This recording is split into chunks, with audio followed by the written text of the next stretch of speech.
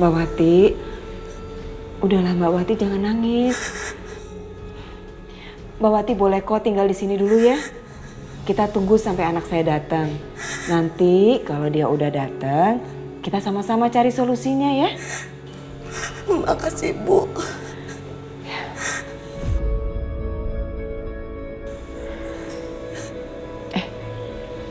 Tadi kan Mbak Wati bilang, Mbak Wati dijanjiin uang sama orang itu kan? Memang Mbak Wati habis ngelakuin apa?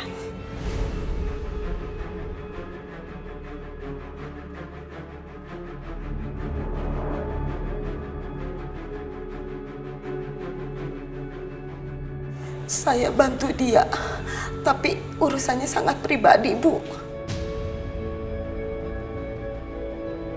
Jangan sampai aku keceplosan kalau aku udah kasih anakku untuk diakui anak orang lain. Bisa-bisa aku di penjara.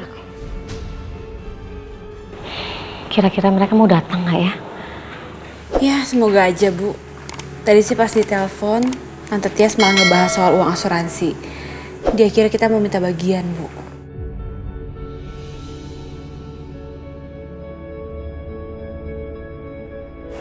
Yang aku pikirkan sekarang adalah kalau misalnya Pak Agung masih hidup, seharusnya uang asuransi itu harus dikembalikan. Nah masalahnya di sini, apakah Bu Tia sama Alina mau mengembalikan uang itu?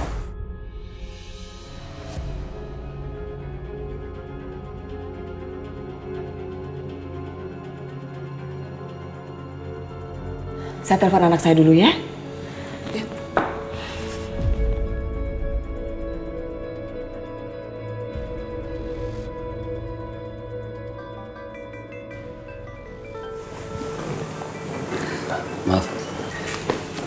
Assalamualaikum Bu. Waalaikumsalam, Dit. Dit, kamu di mana? Kamu bisa pulang nggak sekarang? Eh, ah bisa Bu bisa. Ibu perlu bantuan kamu untuk nolong seseorang. Iya Bu, iya Bu, iya Bu. Adit segera pulang sekarang. Ya udah cepetan kamu pulang ya, Nak. Ibu tunggu ya, Dit. Assalamualaikum. Waalaikumsalam. Mbak Wati, tunggu dulu ya. Ibu bikinin minum.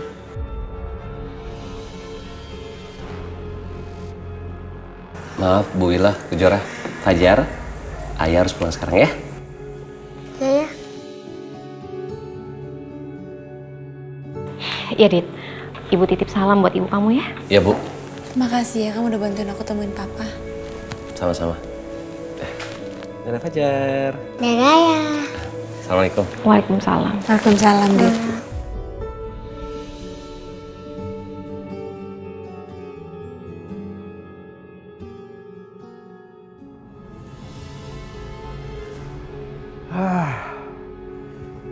Banyak urusan yang bikin aku kesal hari ini. Tapi yang paling penting, aku udah bisa masukin Ratih lagi ke rumah sakit jiwa. Tinggal satu urusan yang harus aku selesaikan.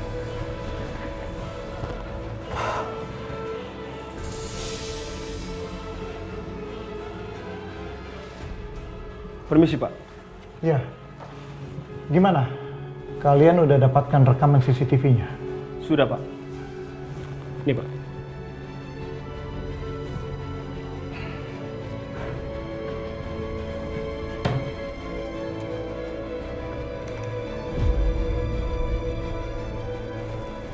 Jadi dia naik taksi sama perempuan itu.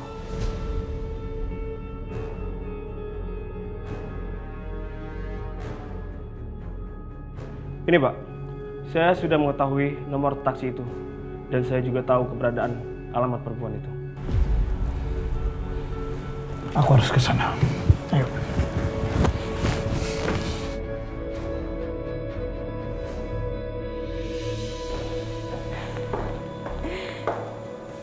Mbak Wati minum dulu ya. Mbak Wati tunggu dulu di sini. Saya mau ke warung depan. Anak saya masih dalam perjalanan pulang. Tunggu ya. Iya, Bu. Terima kasih. Ini minum.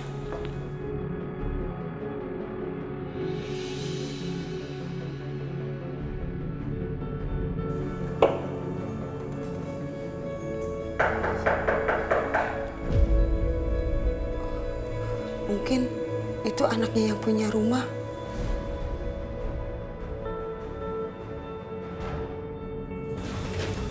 Iya, Mas.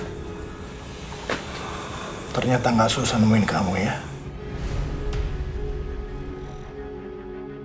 Kamu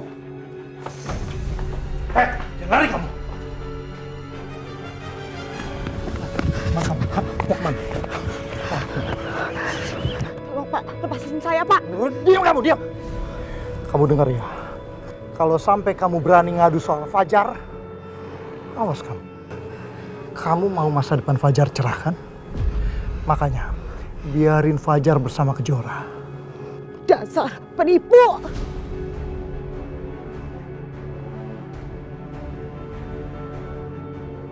Masalah uang, kamu tenang aja.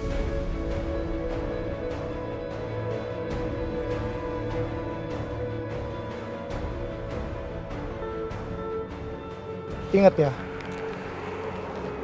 kalau kamu berani ngadu, Fajar palsu anak kamu itu akan saya matiin.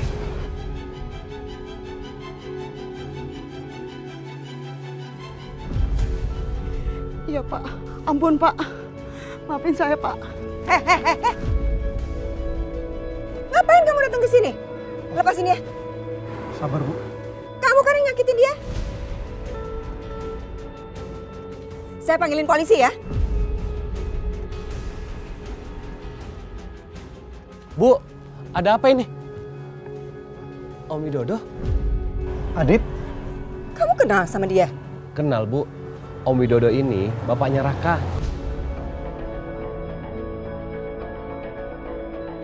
Ah, Om, kenalin ini ibu saya. Tapi dia ini orang jahat, Dit. Dia yang dorong Mbak ini ke sungai.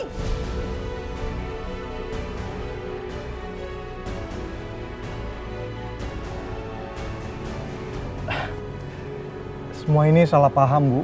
Salah paham gimana? Bu Wati, coba Bu Wati cerita yang sebenarnya aja.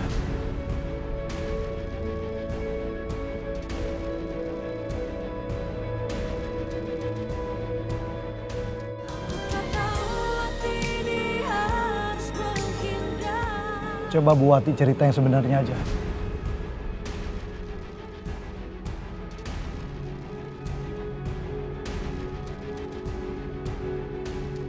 Mbak Wati, jawab. Mbak Wati yang cerita sama saya kan? Kalau orang ini yang jahat, yang udah dorong Mbak Wati ke sungai. Iya kan?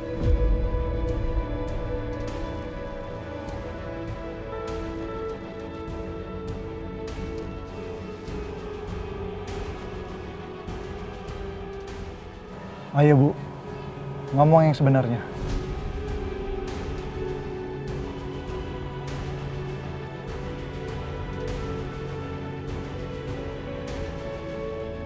Wati, Adit ini temennya Kejora dan dia juga mantan suami dari kakak tirinya Kejora. Jadi Mas Adit tahu soal pacar. Duh, kalau sampai ketahuan, anakku bisa diusir nanti. Mendingan anakku tetap sama Bu Kejora aja. Dan tetap jangan sampai ada yang tahu kalau aku ibu kandungnya. Wati, kamu kenapa diam? Kamu diancam sama dia? Maaf Bu. Ini tadi Pak Widodo jelasin semuanya ke saya. Dan saya itu salah paham. Eh, ini kok informasinya berbeda ya? Wati, kamu diancam ya sama dia? Enggak Bu, setelah saya dengar penjelasan dari Pak Widodo, saya sadar. Ternyata ini salah paham. Maafin saya Bu. Ibu dengar sendiri kan? Buat apa saya jahatin Bu Wati, Bu?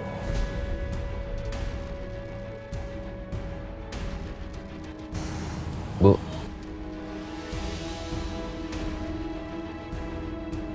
Sebaiknya ini kita bicarain aja di dalam. Nggak enak di sini. Ya udah, Mbak Wati ikut saya ke dalam ya. Iya Bu.